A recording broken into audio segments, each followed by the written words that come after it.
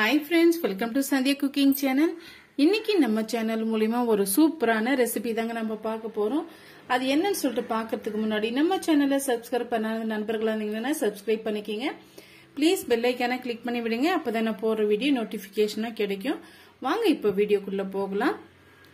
பாருங்க நான் வந்து கடலை பருப்பு ஒரு கப் அளவுக்கு எடுத்து மூணு மணி நேரமாக வந்து ஊற போட்டு எடுத்து வச்சிருக்கேங்க.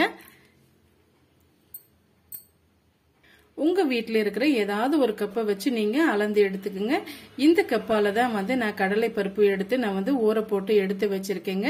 இப்போ இது தண்ணி எல்லாம் வடிகட்டிட்டு நம்ம எடுத்துட்டு வந்துடலாம். இப்போ மிக்சி ஜார் வச்சுக்கிட்டேங்க. இப்போ அதில் வந்து நம்ம எடுத்து வச்சிருக்க கடலை பருப்பை வந்து நம்ம இதோட சேர்த்துடலாங்க. எல்லா பருப்புகளையும் சேர்த்துட்டு நல்லா வந்து நம்ம மைய அரைச்சி எடுத்துட்டு வந்துடலாங்க. பாருங்க மைய அரைச்சி நம்ம எடுத்துட்டு வந்துட்டோம். இந்த பக்குவத்துக்கு இருக்கணுங்க. இப்ப இது ஒரு ஓரமா இருக்கட்டும். இப்ப கடாய் ஒன்று வச்சுக்கலாங்க. ரெண்டு டீஸ்பூன் அளவுக்கு நம்ம நெய் வந்து சேர்த்துக்கலாங்க. நெய் சேர்த்துட்டு நெய் நல்லா வந்து மெல்ட் ஆயிட்டு வரட்டும். ஸ்டவ் ஆன் பண்ணிக்கலாங்க. பாருங்க நெய் நல்லா வந்து மெல்ட் ஆயிட்டு வந்துருச்சு. இப்ப மீடியமான ஃப்ளேமில் வச்சுக்கோங்க. நம்ம அரைச்சி வச்சிருக்க பருப்பு விழுதை வந்து இதோட நம்ம சேர்த்துடலாங்க.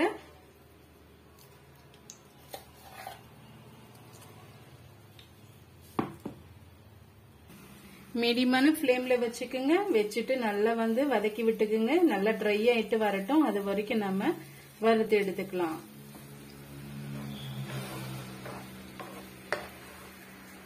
இந்த பச்சை வடெல்லாம் நல்லா போயிட்டு நல்ல ஒரு வாசம் வர வரைக்கும் தென் நம்ம பருப்பை வந்து வறுத்து எடுத்துக்கணுங்க.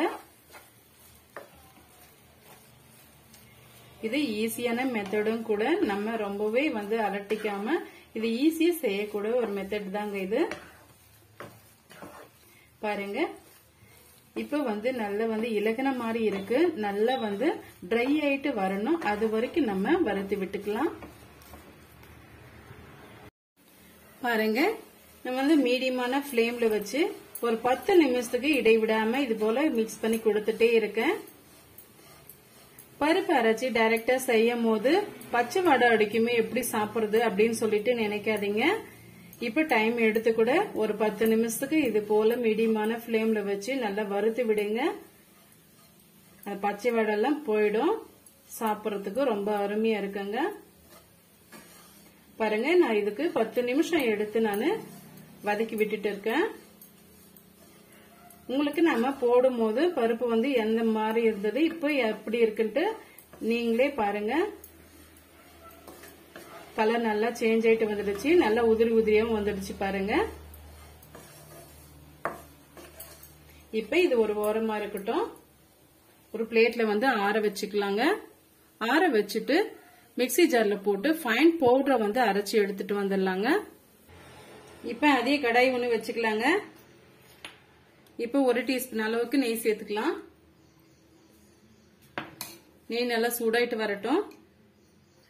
பாருங்க நெய் வந்து நல்லா மெல்ட் ஆயிட்டு வந்துடுச்சு. இப்ப இது கூட வந்து ஒரு டீஸ்பூன் அளவுக்கு முந்திரி ஒரு டீஸ்பூன் அளவுக்கு திராட்சை பழம் வந்து நம்ம சேர்த்துக்கலாங்க. சேர்த்துட்டு நல்லா வந்து ஒரு கோல்டன் கலர் வர வரைக்கும் நம்ம வறுத்து எடுத்துக்கலாம்.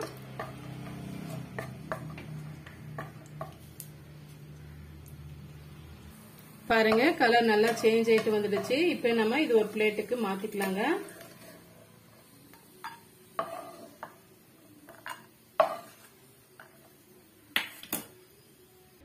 இப்ப அதே கடாயில வந்து நம்ம ஒரு கப் அளவுக்கு சர்க்கரை சேர்த்துக்கலாங்க. எந்த கப்பால வந்து பருப்பு அளந்து எடுத்துக்கிட்டீங்களோ அதே கப்பால வந்து ஒரு கப் அளவுக்கு நான் வந்து சர்க்கரை சேர்த்துக்கிட்டேன். அரை கப் அளவுக்கு தண்ணி சேர்த்துக்கலாங்க. சர்க்கரை நல்லா வந்து கரைஞ்சி வரட்டும். பாருங்க நல்லா வந்து கொதிச்சு வருது. இது ஒரு கம்பி பதம் வந்த உடனே நம்ம அரைச்சி வச்சிருக்க பருப்பை வந்து இதோட நம்ம சேர்த்துடலாங்க. ஒரு பிசு பிசுப்பு தன்மை வரணுங்க அதுதான் கரெக்டான பக்குவம். பாருங்க நல்லா வந்து ஒட்டி வருது.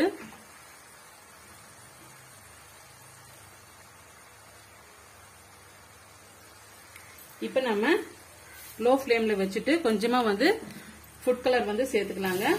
கலருக்காக சேர்த்துட்டு நல்லா வந்து மிக்ஸ் பண்ணி கொடுத்துக்குங்க. இப்போ நம்ம ஸ்டவ் ஆஃப் பண்ணிட்டு இப்போ நம்ம மிக்ஸ் பண்ணி வச்சிருக்கேன்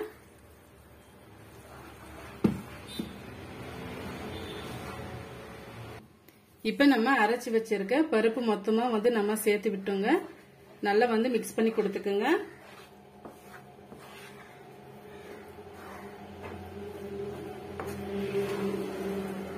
இது நல்லா ஆறி வரட்டும். நல்லா இறுக்கமாயிடும் இப்போ இது கூடவே பாத்தீங்களன்னா நம்ம வதக்கி வச்சிருக்க முந்திரி பருப்பும் திராட்சை இதோட நம்ம ஆட் பண்ணிடலாம். கொஞ்சமா வந்து டைமண்ட் கற்கண்டு இதோட நம்ம சேர்த்துக்கலாங்க. சேர்த்துட்டு நல்லா வந்து கலந்து விட்டுக்குங்க.